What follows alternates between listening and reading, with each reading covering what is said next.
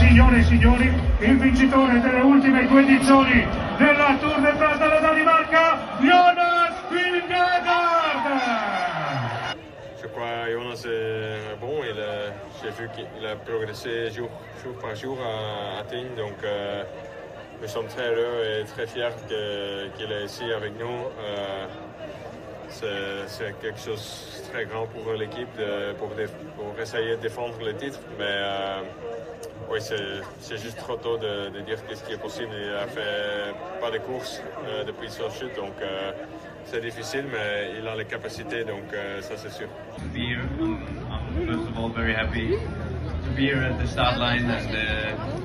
uh, that itself is a victory for me.